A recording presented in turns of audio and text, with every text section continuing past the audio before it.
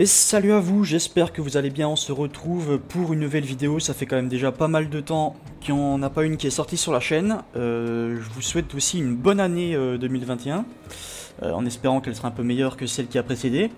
Donc comme je disais, ça fait pas mal de temps que j'ai pas sorti de vidéo sur la chaîne, mais je vous expliquerai plus tard dans une autre vidéo quels sont mes projets pour cette année, ce que j'ai déjà fait, sur ce quoi je suis en train de bosser, etc. Donc là on va lancer un petit let's play sur un jeu qui s'appelle YOLO Space Hacker. Euh, mission, Bikini, je crois que ça s'appelle. Et du coup, c'est un jeu qui a été développé par un studio indépendant français de quelques personnes, donc euh, Cocorico, j'ai envie de dire. Et en fait, c'est un jeu de hacking, comme son nom l'a dit. Euh, il est sorti, alors là, quand je tourne la vidéo, on est le 4 janvier au soir. je crois qu'il est sorti fin décembre. Et du coup, il y a eu, il y a eu quelques, quelques retours sur le jeu que j'ai pu voir. Il avait l'air vraiment pas mal. Alors déjà, il... Euh, comment Il... De ce que j'ai pu comprendre, il est vraiment pas mal pour débuter le hacking, parce que euh, comme on peut le voir, ou comme on pourra le voir... Euh, alors, attendez, je viens juste lancer le jeu pour faire des tests, j'ai pas encore commencé l'histoire. Ici, on a un guide. yes. Alors attendez, je suis un peu perdu. Hein. Ça, on l'enlève, ok. Là, il y a un guide, en fait, du hacker. Et vous voyez, il est extrêmement long. Donc, ils vont nous donner pas mal d'informations sur au niveau des clés, euh, clés SSH. Il va y avoir au niveau des, commandes aussi. Tous les concepts, en fait, de base du hacking. Hydra pour le brute force. Euh, aussi au niveau des WordPress. Et ce qui est bien foutu, c'est qu'on peut faire des CTRL F dedans et chercher par exemple la commande ls. Et on peut voir à droite tous les endroits où, leur, euh, les endroits dans lesquels ils sont euh, spécifiés. Et euh, l'intérêt du jeu, c'est que toutes les commandes qu'on va taper dans le terminal seront vraiment exécutées. Il me semble qu'elles euh, sont exécutées dans un Docker. il me semble que c'est ce qu'ils utilisent. Donc sur ce, on va se lancer. Je sais pas ce que le jeu vaut, mais on, va voir. est-ce que je vous lis le texte ou est-ce que vous lisez vous-même? Je pense que vous êtes assez grand pour lire. Hop, alors, lui, c'est Captain Sploit, très bien. C'est le fondateur de l'agence. Très bien. Je vais quand même lire, ce sera peut-être euh, plus intéressant pour vous. Alors, pour ta première mission parmi nous, tu vas descendre sur la planète. La base spatiale scientifique Bikini 72, très bon nom d'ailleurs, propriété de Archeocorp LTD, ne donne, plus de nouvelles depuis plus d'un mois. Archeocorp LTD nous a mandaté pour enquêter et comprendre ce qui s'est passé. Donc euh, il y a euh, derrière juste du hacking, il y a aussi une histoire euh, pour euh, justement nous, euh, nous faire pratiquer. tout au long de ta mission, tu seras en contact avec Switch. Elle va s'assurer à distance que tout se passe bien pour toi. Je te laisse entre ses mains expertes. Donc c'est très manga, très animé. Hello, maintenant que Captain t'a exposé le contexte, mettons-nous au travail. Alors, l'objectif fixé par notre client est l'extraction de la base de données centrale de la station. Tu vas devoir passer une suite de SAS trouver la salle de contrôle, te connecter au serveur, copier la base sur un disque et ressortir. Euh, je tiens aussi à préciser que le jeu que je fais là, il est sorti il y a que quelques semaines, comme je, disais fin décembre. Et sûrement, vous, si vous regardez la vidéo euh, plus tard, il y a moyen que ce soit plus du tout le cas, euh, que ce soit plus les mêmes fonctionnalités ou que ça ait changé un petit peu quand même. le client nous a donné quelques informations, un plan de l'intérieur de la base, les adresses IP des serveurs, des fiches du personnel et un badge d'accès. Euh, comme c'est très souvent le cas, les informations les plus utiles ne se trouvent pas dans ces documents, mais sont disponibles librement sur Internet. J'ai enrichi les fiches du personnel avec les données publiques à disposition sur les réseaux sociaux. Cela pourrait être utile s'il y a besoin de forcer des mots de passe. Prêt Yes.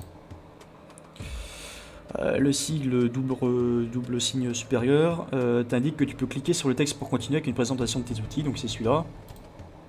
Si tu vas jusqu'au bout du tuto, j'aurai un cadeau pour toi. Yes. Euh, ta progression est affichée dans l'onglet Mission du navigateur web, donc qui est ici. Euh, le contenu de cet onglet peut changer quand tu cliques sur des liens. Ok.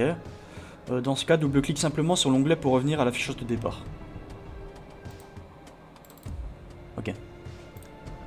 Les étapes sont décrites en détail avec des indices pour éviter de rester bloqué. Si tu estimes être trop guidé, tu peux passer en mode avancé à tout moment en cliquant sur débutant sous le portrait. Ok. Donc en fait, euh, quand c'est débutant, oui, on, on, nous explique vraiment tout, alors qu'avancé, on est un peu plus euh, lâché euh, de la nature. Tu peux agrandir le navigateur avec les boutons situés le long de la partie gauche du navigateur. Ça c'est bien fait ça. Si jamais l'image là ça ne nous intéresse pas trop. Ça c'est bien foutu. Mais du coup, ah, du coup on voit, on voit plus trop ce qui est marqué en dessous. Pour le moment je vais rediminuer. Ok. Euh, le deuxième onglet navigateur est ton guide du hacker. C'est une base de connaissances vers les commandes indispensables, les infos utiles et quelques anecdotes. Tu peux faire une recherche en présence simultanément, CTRL F, ça c'est ce que je vous ai montré tout à l'heure, mais il le, réexplique ici.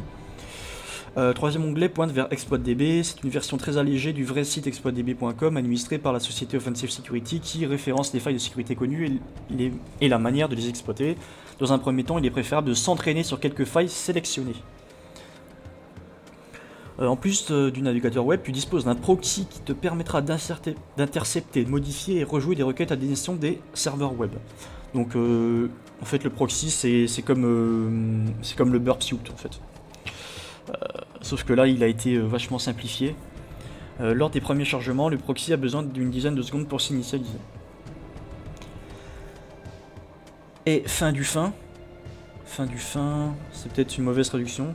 C'est bizarre. Euh, tu disposes d'un terminal. Et enfin, peut-être. Tu disposes d'un terminal avec, euh, avec tous les outils nécessaires pour sniffer le réseau, détecter les serveurs, les scanner, casser les mots de passe, exploiter les failles de sécurité. Tout comme le proxy, il a besoin d'une dizaine de secondes pour s'initialiser. Euh, le chapitre Shell du hacker guide te donne les commandes de base, n'hésite pas à y jeter un œil.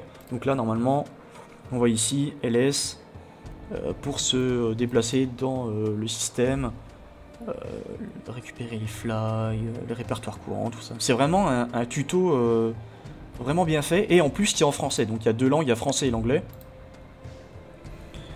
Euh, ok, pour redimensionner ou reset le proxy ou le terminal, tu peux cliquer à gauche et à droite du bouton des boutons. Ok, ça c'est pour reset terminal. Par exemple, si là je, si là je fais dans, il faut une dizaine de secondes. Si là je fais un ls, il y a ça et si je veux le reset, ok. Alors, nous allons prendre ces outils en main en douceur les uns après les autres. La progression est automatiquement sauvegardée. Tu peux quitter à tout moment et reprendre plus tard dans la même salle. Ok. Euh, J'avais remarqué aussi que pour le moment, euh, quand on quitte, du coup ça sauvegarde tout seul.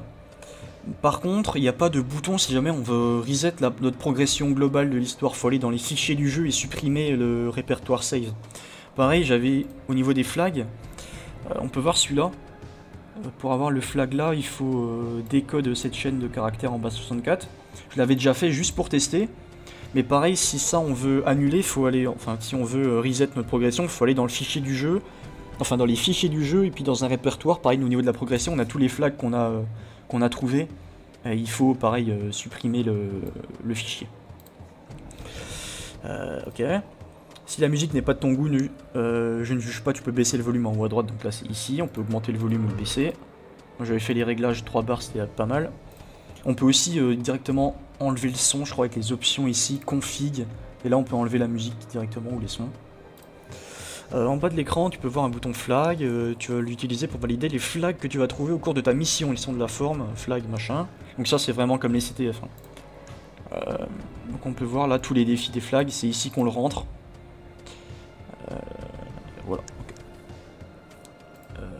Tu cliques pour l'ouvrir et tu recliques dessus pour le fermer.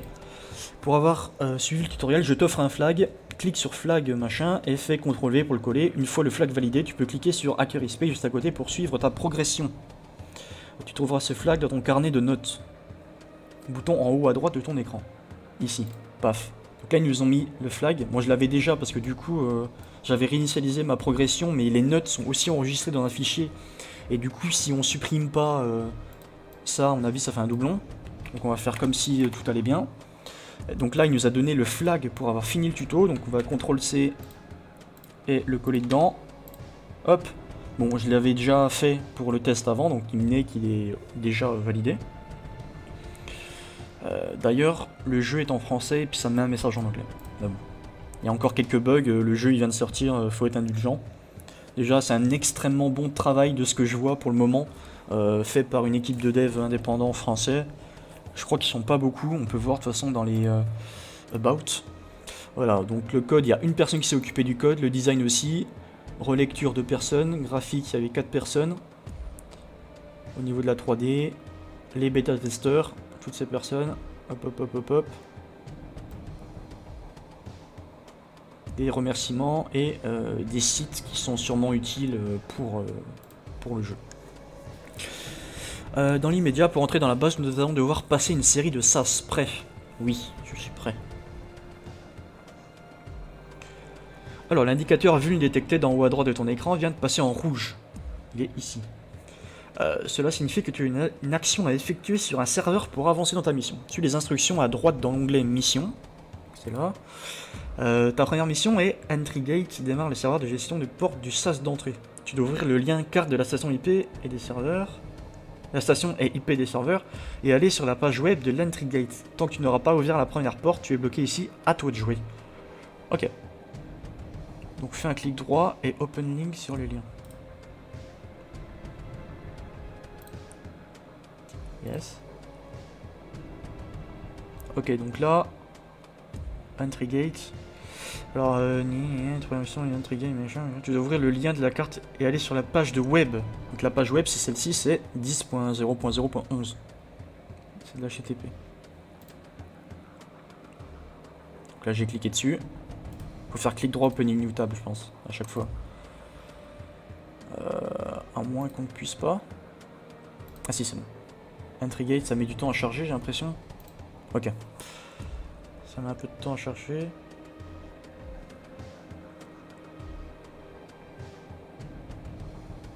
Ok. Ne me dites pas que j'ai déjà fait planter le jeu. Ok, yes. Entry gate, press to open. Bon, on va appuyer, hein. Yes, accès autorisé. Et on nous donne un flag. Excellent. Donc le flag, on va le copier on va l'ajouter dans nos flags. Ouvrir le premier sas, je pense qu'on va... Yes, valide. Ok, donc là on a déjà deux flags, plus le troisième que j'avais trouvé euh, l'autre fois, mais c'était pour un test. Ok, on est là. Ensuite, excellent. Donc là on peut voir que l'animation, ça s'est ouvert. On peut aussi cliquer sur le vaisseau, mais je sais pas ce qu'on va faire, ce sera peut-être pour après. Alors, la page web affiche un flag de couleur jaune, tu dois le copier-coller dans le flag pour le valider, ce qu'on vient de faire. Cette page cache d'autres flags moins visibles, regarde le code source de la page pour les trouver. Alors là, c'est juste dommage qu'on puisse pas faire comme sur un vrai navigateur, CTRL U, on est obligé d'y aller avec le clic. Bon, c'est pas... Euh, c'est pas très important. Ok, donc là, ça, là, ça nous ouvre une autre... Euh... Bah, le code source, quoi, en fait, de la page. Euh, donc on peut voir qu'il est ici, l'autre flag, il est vraiment dans le code source, dans un commentaire HTML. Donc on va le copier et le coller. Hop, encore un flag, check, valide, parfait. Donc là on a déverrouillé celui-là, lire les commentaires. Euh, cette page cache d'autres flags moi vie. ok, c'est ce qu'on vient de faire. Tu auras noté que l'accès à l'interface de commande de la porte se fait à partir d'un navigateur web et d'une URL effectivement. Euh, clique sur la flèche jaune au sol pour continuer. Ok, donc là, ça nous permet de rentrer dans le sauce. Parce qu'en fait, euh, il n'y a pas que euh, au niveau des commandes, on a aussi... on peut aussi interagir en 3D sur cet écran ici. Maintenant, à toi de, te connecter à l'interface web de ce premier SaaS et de deviner le mot de passe pour l'ouvrir. Utilise les indices donnés dans l'onglet Mission. J'ai complété sa fiche avec des informations trouvées sur les réseaux sociaux. Bonne chance. Ok. Alors, euh... Entry gate. Ok, on est là. Euh... Ok, donc faux. Contrôler la première porte. Donc là, entry gate, je pense que ça, on peut fermer. Ok, on doit rentrer un mot de passe. Ok. Là, ils nous disent euh, l'installation a été faite par Arnold Beans. Sa fiche de profil disponible en docs ici révèle quelques informations sur sa famille, ses goûts, ses loisirs. A partir de cette fiche, devine le mot de passe qui, va, qui te permettra d'ouvrir la porte 1. Euh, le mot de passe est en minuscule, sans caractères spéciaux. Donc on va ouvrir ça aussi. Ok. Donc là on sait qu'il s'appelle Arnold Beans. Euh, il est marié, il a un fils qui s'appelle Steve.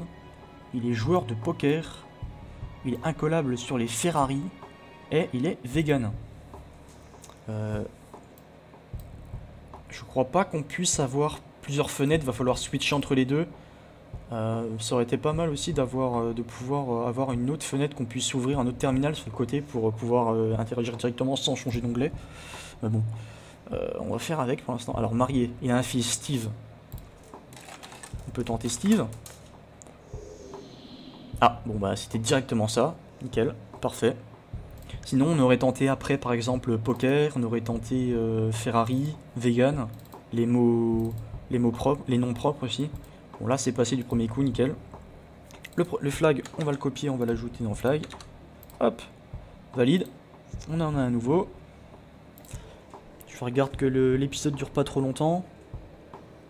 Je vais essayer de faire des épisodes de 15-20 minutes grand maximum. Bon là c'était le premier, c'est la découverte, on n'a pas fait grand chose pour le moment mais... Ok, pour continuer, clique sur la flèche jaune pour accéder au prochain SAS. Donc là c'est vraiment le, début du jeu, le tuto, on doit trouver des mots de passe. Euh, il faut choisir un mot de passe, ça tombe toujours au plus mauvais moment, et comme en plus il faut s'en souvenir, les mots de passe sont souvent basés sur des notions simples, prénom, date de naissance, marque, souvenir. Heureusement, les responsables de la sécurité imposent des politiques de gestion de mots de passe conçues pour éviter ces dérives. Enfin, il faut le dire vite. Euh, pour renforcer la sécurité, l'administrateur a imposé de mettre une majuscule dans les mots de passe. Le technicien a donc modifié son mot de passe pour, tenir en compte cette contrainte. Suis les consignes en mission et devine quel est le nouveau mot de passe. Alors, euh, regarde bien quelle était l'URL de la première porte. Maintenant, connecte-toi sur la deuxième porte. Bon. Euh, L'URL, on la retrouve où? L'URL est là en haut, donc porte 1, on va se connecter sur porte 2.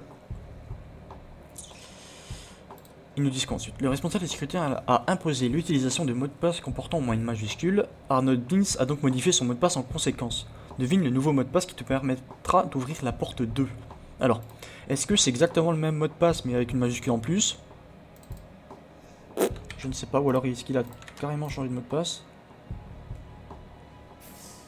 Yes, d'accord, bon c'était exactement le même avec une majuscule en plus. On va prendre le flag et on va l'ajouter. Hop Valide. On a déjà fait deux sas. Je sais pas combien il y en a en tout. Hop, on confirme ça. Excellent. Euh, à retenir, dans 90% des cas, la majuscule est en début de mot de passe. Ok. Encore un sas. Pour vraiment renforcer la sécurité, l'administrateur impose maintenant l'utilisation d'un caractère spécial. Donc comme le dollar, l'astérisque, euh, le point d'interrogation ou le point d'exclamation. A ton avis, où ce caractère spécial se place-t-il dans 95% des cas? Bon, je dirais à la fin. Regarde les missions. Alors, connecte-toi sur la troisième porte. Le responsable de la sécurité a encore renforcé la sécurité et imposé que chaque mot de passe comportant une minuscule et un caractère spécial. Euh, ok. Devine le nouveau mot de passe qui te permettra d'ouvrir la porte 3. C'est toujours le même installateur, Arnold Beans. On va se connecter sur la porte 3. Pour l'instant, le jeu, il est sympathique. Hein. Il est bien foutu. Euh. Donc, je pense que c'est Steve encore. Avec une majuscule. On va essayer avec point d'exclamation. Non. Euh, Steve avec un point d'interrogation. Non plus. Steve avec une étoile peut-être. Non plus. Euh, Steve avec un dollar peut-être? Yes, c'était le premier. Moi j'ai fait en sens inverse. Ok. Ajoute encore le flag. Hop, check, valide. Joli. Euh, un long couloir, ok. La 3D est bien foutue aussi, je trouve. Hein. C'est plutôt joli. Vous me permettez de boire un, petit coup pendant cette cinématique?